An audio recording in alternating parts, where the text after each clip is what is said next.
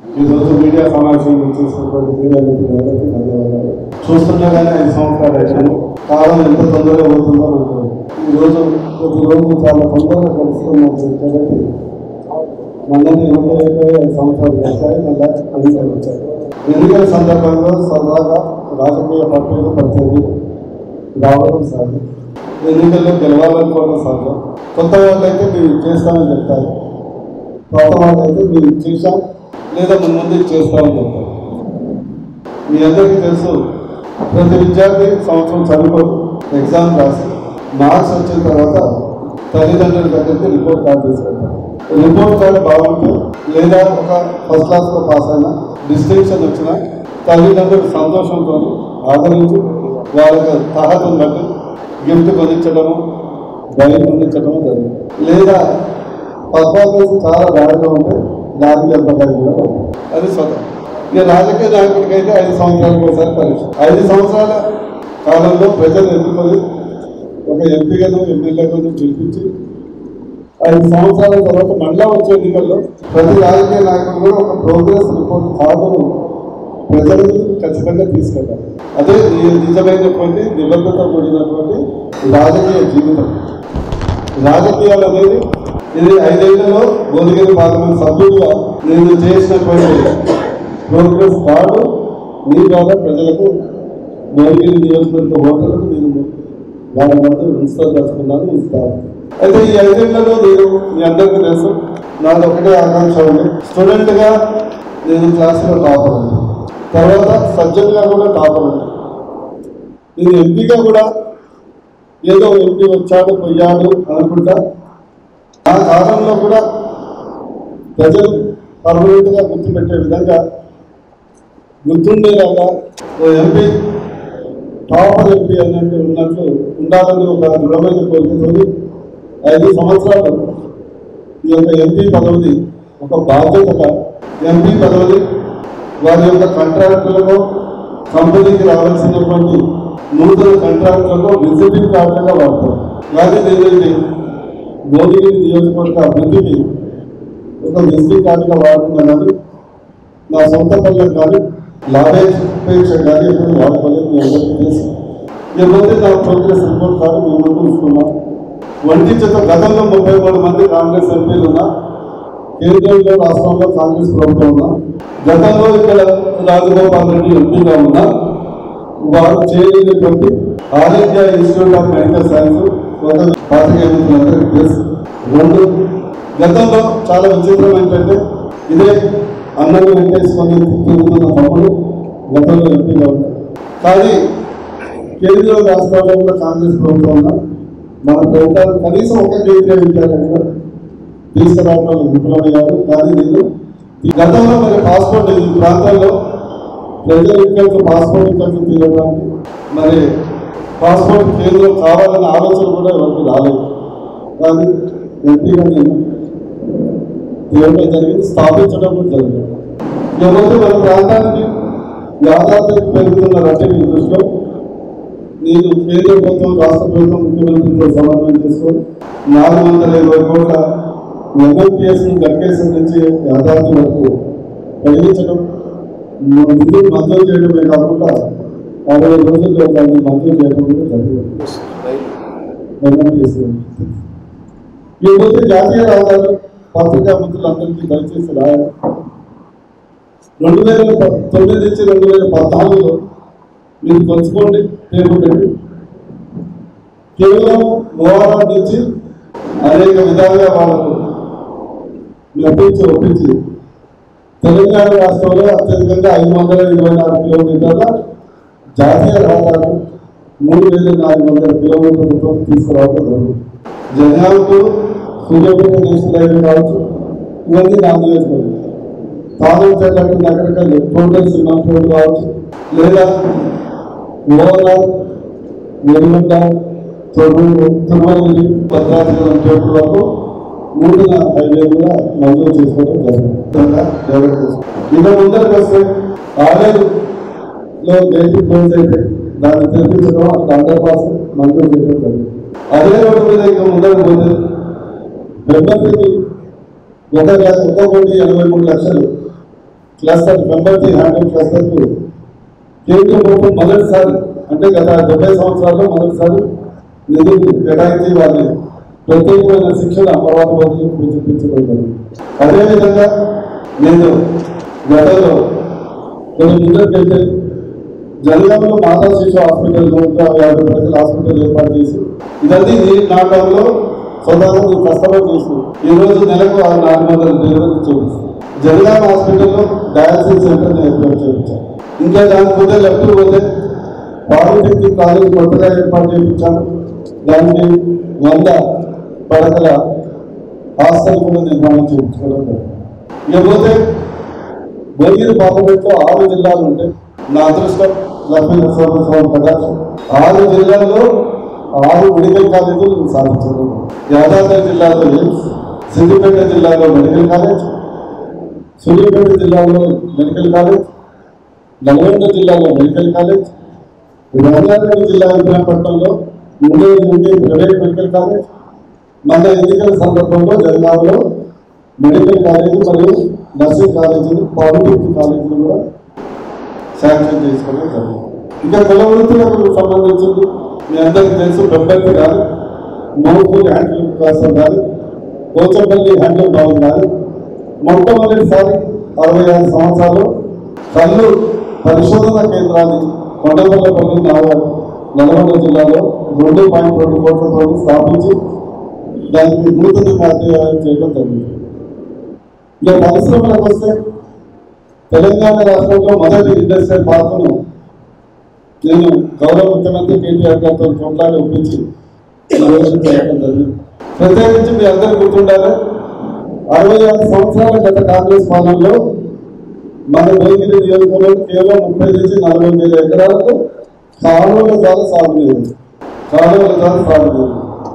అది కూడా నిజాం టైంలో కట్టిన మూసీ కెనాల్స్ నేను ఎంపీ అయిన తర్వాత మా సార్ ఎమ్మెల్యేలు అందరూ కలిసి కలిసికట్టుగా ఈరోజు గౌరవ ముఖ్యమంత్రి గారి ఆశీస్సులతో కాళేశ్వరం ప్రాజెక్ట్ బసవాపూర్ నల్లమల్ల ఢిల్లీ ఎత్తిపోతుల పథకం రాచకొండ లిఫ్ట్ ఇరిగేషన్ బ్రాహ్మణ వర్గ కాంపిటీషన్ మున్సి గేట్లకు కొత్త గేట్ల నిర్మాణం మున్సి కాలువలకు రెండు వందల ఇరవై మూడు కోట్లతో ఆధునీకరణ సామర్థ్యం పెరుగుతుంది. ఎస్ఆర్ఎస్పి కాలువల పునరుద్ధీకరణ ఆధునీకరణ దాని కాళేశ్వరం లేదు. దేవాదులకు ఆనకట్ట ఇవన్నిటి వల్ల నిజంగా మీరు మీరందరూ చూస్తారు ఇంకా రెండు మూడు సంవత్సరాలు భువనగిరి నియోజకవర్గానికి కృష్ణా గోదావరి మూసి త్రివేణి సంఘము అయిపోయి ఇటు గోదావరి అటు కృష్ణ మధ్యలో మూసి తొమ్మిది లక్షల ఎనభై ఏడు వేల నూట యాభై ఒక్క ఎకరాలు నీళ్ళు ఇవ్వటం జరుగుతుంది. ఎనభై ఏడు వేల నూట యాభై ఒక్క ఎకరాలు. ఇది ఈ పార్లమెంట్లో పార్లమెంట్లో అరవై ఆరు సార్లు మాట్లాడిన తొలి మరి గతంలో మన ఇదే రాజగోపాల్ రెడ్డి గారు ఐదు సార్లు కూడా మాట్లాడలేదు. మీరు వెబ్సైట్ మీకు తెలుసు పార్లమెంట్లో నేను సామాజిక న్యాయం కొరకు ఎస్సీల కొరకు ఎస్టీల కొరకు ముస్లింల కొరకు బీసీల కొరకు ఓసీల కొరకు అన్ని వర్గాల కొరకు కొట్లాడే ఏకైక ఇరవై ఐదు సంవత్సరాలుగా పెండింగ్లో ఉన్నటువంటి national commission for backward class వంటి చేతులు ఇరవై వేల రెండు వేల లెటర్లు రాసి అనేక సార్లు పార్లమెంట్లో లేవనెత్తి దాన్ని రాజ్యాంగ హోదా కల్పించింది కూడా లేదు ఒక బీసీ ఎంపీ అయి ఉండి కూడా అగ్రకులాల్లో ఉన్నటువంటి పేదలకు కూడా న్యాయం జరగాలని ఓసీ పేదల రిజర్వేషన్ బిల్ ఇది ఎకనామికల్ బ్యాక్వర్డ్ క్లాస్ రిజర్వేషన్ బిల్లును ఇంట్రడ్యూస్ చేసేసి అంటే రెడ్లతో సహా బ్రాహ్మణులతో సహా వైశ్యులతో సహా చదువులతో సహా కమ్మలతో సహా అక్కడ ఉన్నటువంటి పేద వర్గాలు కూడా లాభం చెందాలి వాళ్ళకు ఒక రక్షణ కావాలని ఈబీసీ బిల్లు దీన్ని ప్రవేశపెడితే కేంద్ర ప్రభుత్వం దాన్ని అనుకరించి నేను పెట్టిన ఒక ఎనిమిది నెలలకే ఈబీసీ బిల్లుని కొత్తగా రిజర్వేషన్. అదే ప్రమాణాలతో ఐదు ఎకరాల భూమి ల్యాండ్ మార్క్ పెట్టుకొని పెట్టడం జరిగింది. ఇది నా యొక్క ప్రోగ్రెస్ రిపోర్ట్. మీ ద్వారా ప్రజలందరికీ నేను విజ్ఞప్తి చేస్తున్నా మీ ప్రోగ్రెస్ రిపోర్ట్ని మీరు ఏ గిఫ్ట్ ఇస్తారో డిస్క్రిప్షన్ ఇస్తారా మీరు ఫస్ట్ క్లాస్ ఇస్తారా అది మీకు రాదు. ఆధారపడుతుంది కొత్తగా వచ్చే అభ్యర్థి గురించి కూడా చెప్పాల్సిన అవసరం ఉంది. కాబట్టి ఒక మాట ఉన్నారు మీరందరూ నాకంటే బాగా తెలుసు.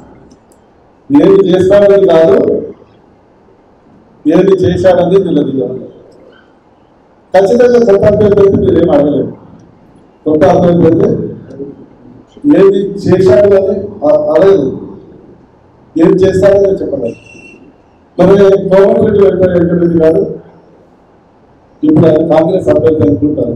పేపర్ చూసారు చివరి దాకా గ్యారెంటీ ఈరోజు ఇరవై సంవత్సరాలు ఎమ్మెల్యేగా ఉన్నారు నాలుగు సార్లు ఎమ్మెల్యే మంత్రిగా పనిచేశారు నేను మీ ద్వారా వారిని ఈ నియోజకవర్గ ప్రజల్ని వారి దృష్టికి తెస్తున్నాను ఇరవై సంవత్సరాల వారి పాలనలో అదే ఇరవై సంవత్సరాలలో సమకాలీనటువంటి ఖమ్మం కరీంనగర్ నిజామాబాద్ ఎంతో అభివృద్ధి చేసి మెడికల్ కాలేజీ ఇంజనీరింగ్ కాలేజీలు బిజినెస్ డెవలప్మెంట్ పరిశ్రమలు ఇవన్నీ వచ్చి ఈరోజు జిల్లా హెడ్ క్వార్టర్స్ నుంచి కార్పొరేషన్ స్థాయికి వెళ్ళింది మరి ఎందుకు నల్గొండ జిల్లా కుదించకపోయింది ఇరవై సంవత్సరాలు మీరు ఎమ్మెల్యేగా ఉండి కనీసం ఒక ప్రభుత్వ జూనియర్ ప్రభుత్వ ఇంజనీరింగ్ కాలేజీ తెచ్చారా?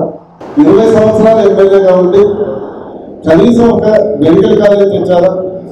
నేను ఆదిత్య రైట్ హ్యాండ్ ఈయనకు లెఫ్ట్ హ్యాండ్ నేను అని చెప్పుకోవడం తప్పదు. కనీసం ఒక మెడికల్ కాలేజ్ తెచ్చారా. నలుగురు పట్టణంలో కనీసం వంద మందికి ఉపాధి కల్పించి ఒక సింగిల్ పరిశ్రమ తెచ్చారు. ఇరవై సంవత్సరాలు. మరి అత్యధికంగా పది సంవత్సరాలు కాంగ్రెస్ ప్రభుత్వం ఉంది. అదే కాకుండా అప్పుడు నేను విజ్ఞప్తి చేస్తాను చేస్తూ మీరందరూ క్షుణ్ణంగా వినాలి. ఎందుకంటే ఎన్నికల్లో సబ్జెక్ట్ పోవాలి. ఏం చేశారనేది కూడా పోవాలి ఉంటేనే ప్రజలు ఆయనకు ఎమ్మెల్యే కాకుండా ఎమ్మెల్సీ ఎమ్మెల్సీ కాకుండా ఏంటి చేయడానికి సిద్ధంగా లేదు గతంలో మరి మీరు నల్గొండ జిల్లాలో అండర్ గ్రౌండ్ డ్రైనేజీ నిధులు వస్తాయి అవినీతిమయమై అస్తవ్యస్తమై ఈరోజు రోజు కంపుగా ఈరోజు నల్గొండ జిల్లా ఇకపోతే రెండు వేల తొమ్మిది ముందు గ్రామీణ ప్రాజెక్టు కంట్రాక్టర్లకు కమిషన్లకు కట్టుబడి మిషన్లు అంటే ఇల్లు కట్టినాక ఎవరైనా ఫ్యాన్ కొంటారు కానీ ఫ్యాన్ మొదలు కదా. ఎలక్ట్రిక్ వైర్ మొదలు కదా. దానికి సంబంధించిన మిషన్లు అంతా పదేళ్ళ కంటే ముందర లేకపోతే అక్కడ జంగు పెట్టి వేరే వందల కోట్లు దాన్ని నాశనమై ఏదో మట్టి పనులు చేసి మీరు చేస్తే మళ్ళీ మా ప్రభుత్వం వచ్చిన తర్వాత ఆ పనులు కంప్లీట్ చేయలేదు ఈ ఉదయం నేను ప్రస్తుతం నేను రాజకీయాల్లో లేనప్పుడు ప్రత్యక్షంగా నేను చూశాను. అదే గ్రామ మన పులిచింతల ప్రాజెక్టుకు తెలుగుదేశం హయాంలో నేను వెళ్ళి జీవులను కాల్చించారు నేను గుర్తుందో లేదు. ఆ ప్రాజెక్ట్ కట్టదు. ఒకసారి మీరు కూడా రిమైండ్ చేసుకోవాలి నాకు ఇంకా ప్రశ్న గుర్తుంది కానీ అదే ఆ వైఎస్ఆర్ ప్రభుత్వం రాగానే ఆ ప్రాజెక్టు కాంట్రాక్ట్ మనకు రాగానే నల్గొండను ముంచి కృష్ణా జిల్లాకు నీళ్ళు ఇచ్చే మీరు దగ్గర పూర్తి చేయగలరని ప్రజలకు జవాబు చెప్పాలి. ఎవరైనా ఒక ప్రాజెక్ట్ వస్తే ఆ ప్రాంత నాయకులు దాన్ని ఆస్వాదిస్తారు ఆహ్వానిస్తారు. ఈ ప్రాంతానికి ప్రాజెక్ట్ వస్తే మాకు ఉద్యోగ అవకాశాలు వస్తాయి మా పిల్లలకు అవకాశాలు వస్తాయని అనుకుంటారు. మన గౌరవ ముఖ్యమంత్రి కేసీఆర్ గారు మన నల్గొండ జిల్లా చాలా వెనుకబడిందని దాదాపు ముప్పై వేల కోట్ల ఎనిమిది వేల మెగావాట్ల సూపర్ క్రిటికల్ థర్మల్ పవర్ని మన నల్గొండ జిల్లాకు మిర్యాలగూడ మంజూరు చేసి పనులు అవుతుంటే మన జరిగినటువంటి అసెంబ్లీ ఎన్నికల్లో ఏం చెప్తారు మేము అధికారంలో వస్తే ఈ ప్రాజెక్టును మూసిస్తాం ఆపేస్తాం. అసలు ఒక రాజకీయ నాయకుడు మాట్లాడవలసిన మాట మనం ఇప్పుడు పక్క రాష్ట్రాల నుంచి అక్కడక్కడ కొంటున్నాం. మన కాలంలో మీద మనం నిలబడాలి తక్కువ ధరతో మనం కరెంట్ ప్రొడ్యూస్ చేసుకోవాలి. అనే ఉద్దేశంతో అంటే అది వారి యొక్క మానసిక ధోరణికి అర్థం పడుతుంది మానసిక పరిస్థితికి అర్థం పడుతుంది ఇప్పుడే మీ ద్వారా నేను విన్నాను. నేను నిమిషం ఏం చేస్తాను ఇది ఎట్లా ఉందంటే మీరే దూరం నర్సరీ కాబట్టి మళ్ళీ నేను డాక్టర్ చదివిస్తాను అని అనుకుంటున్నాను దూరం నర్సరీ కాబట్టి నేను ఆపరేషన్ నేర్పిస్తాను అని అనుకుంటున్నాను మరి అది ఏం హాస్పిటల్ అయితే వచ్చింది? మరి ఇలాంటి గవర్నమెంట్ ఉంటే ఇంకో హాస్పిటల్ అలాంటి వాళ్ళకు సరైనటువంటి హాస్పిటల్ రావాల్సిన అవసరం ఉంటే మరి దాన్ని కూడా ప్రయత్నం చేస్తాం ఒక రాజకీయ అధికార దురహంకారం రాజకీయ పిచ్చి అనేది ఉండదు. నా ఉద్దేశం ఏంటంటే రాజకీయాల్లో వచ్చింది ఏంటంటే ఓ మంచి డాక్టర్ అయితే మంచి డాక్టర్ కావాలని కోరుకుంటాను ఓ మంచి ఉపాధ్యాయుడు అయితే మంచి చదువు చెప్పాలని కోరుకుంటాను ఒక రాజకీయ నాయకుడు అయితే పది కాలాల పాటు ప్రజలు గుర్తుండిపోయేలాగా మనం పని చేసేసి. శాశ్వతంగా ఈరోజు యాదాద్రి తిరుపతి దేవాలయ నిర్మాణంలో ఈ అరవింద్ గుట్ట ఉన్నంత కాలం ఈ భూమి ఉన్నంత కాలం కేసీఆర్ గారిని అయితే మనం గుర్తుపెట్టుకుంటున్నాం భోజనం కోట తిరుమల మన్నుడు కట్టించను సర్వాలు కాకుండా దాన్ని ఏదైనా చెప్పుకుంటాం. ఈ విచిత్రమైనటువంటి వ్యాధి కేవలం మన నల్గొండ జిల్లాలకే ఎందుకు వచ్చిందో నాకు అర్థం కావట్లేదు. దయచేసి విద్యులైనటువంటి బోధగిరి నియోజకవర్గ ప్రజలందరికీ విజ్ఞప్తి చేస్తున్నా. అక్కడ పవర్ ప్లాంట్ కట్ చేస్తా అంటేనే పవర్ కట్ చేసేసి భారీ విజయంతో ఓడించారు. దయచేసి ఇలాంటి వాళ్ళకు ఇలాంటి మనసు మానసిక స్థితి ఉన్న వాళ్ళని దరిదాపులోకి అన్నది మీ అందరికీ విజ్ఞప్తి చేస్తూ నమస్కారం